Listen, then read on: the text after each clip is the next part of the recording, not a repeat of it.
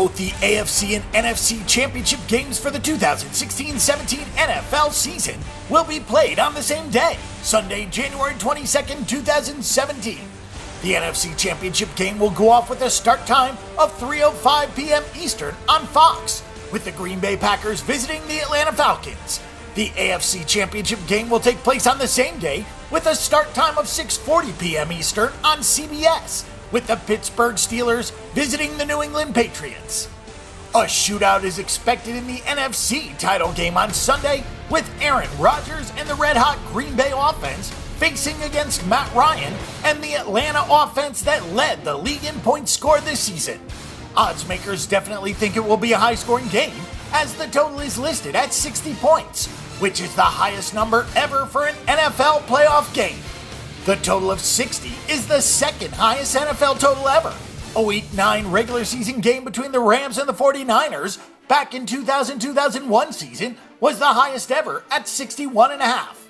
The Green Bay offense has been virtually unstoppable in the last couple of months as the Packers have won their last 8 games, including a thrilling 34-31 victory at Dallas last week. Aaron Rodgers is needed to put up a lot of points because the Green Bay secondary is banged up and the overall defense is weak. The Green Bay defense is in serious trouble this week as the Atlanta Falcons feature the highest scoring offense in the NFL. The Falcons rolled past the Seahawks last week with Matt Ryan carving up the Seattle secondary. He should be able to do the same thing on Sunday against a weaker Green Bay secondary. The Falcons averaged over 30 points per game this season and it is hard to see them having any difficulty moving the ball against this Green Bay defense. Taking a look at some betting statistics on this game, the Green Bay Packers have gone over the total in four of their last five playoff games, while the Falcons have gone over the total in six of their last eight playoff games. The Packers are 4 and 1 against the spread in their last five meetings in Atlanta, and the underdog in this series is 8 and 2 against the spread in the last 10 meetings. The AFC Championship game will feature Tom Brady and the New England Patriots, who will look to win yet another AFC title game and represent the AFC again in the Super Bowl. To do so, the Patriots will have to slow down the Pittsburgh Steelers offense that features Ben Roethlisberger, Le'Veon Bell, and Antonio Brown. The Kansas City Chiefs held the trio in check to some extent last week as the Steelers had to settle for six Chris Boswell field goals in an 18 16 win. The Pittsburgh defense played well, but they will have to take it up a notch as they face a much better offense this week. The Steelers haven't gotten the attention that some of the other teams have received in the playoffs, but Pittsburgh is red hot as they have won their last nine games in a row. The Pittsburgh defense has improved in recent weeks, and the offense is as explosive as ever.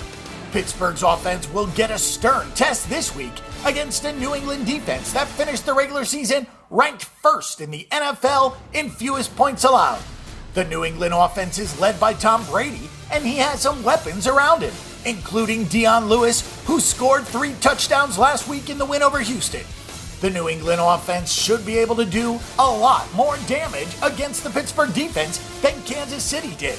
Taking a look at the betting statistics on this game, Pittsburgh has not done well in the series against the Patriots, going 4 and 11 against the spread in the last 15 meetings. The Steelers have been a team to bet under the total in the playoffs lately, with four of their last five playoff games going under, while the Patriots have been a good team to bet over, with five of their last six playoff games going over the total. The betting public usually thinks that conference championship games will be close, but that has not always been the case. In fact, more than half of the title games have been decided by double digits since 1970, with almost half of the games decided by 14 points or more. Even though the games are not always close, the underdogs still have not been a great bet against the number. It's basically a 50 50 proposition. Betting the over has been the way to go in the championship games, with more than half of the last 50 games going over the total. The home team wins about 60% of the time in the title games, but they are just 50% against the spread. In recent years, betting the over has been a good way to go with about 70% of the games going over. That trend has changed a little bit lately, with three of the last four games going under the total. Looking at the top seeds, top seeds from the 2016 regular season were the New England Patriots and Dallas Cowboys. The two top seeds from the 2015 regular season were the Broncos and the Panthers. The top seeds in each conference are supposed to have a big edge when it comes to making the Super Bowl, but getting the top seed does not guarantee anything. Since 1975, the top seeds have won the title just over 50% of the time, which sounds pretty good, but remember that the numbers are not nearly that good lately. From 1975 to 1999, the top seeds won the Super Bowl title over 70% of the time but only four top seeds have won the Super Bowl since 2000, and that includes last year's Denver Broncos. Less than half of the top seeds have even made the Super Bowl since 2000.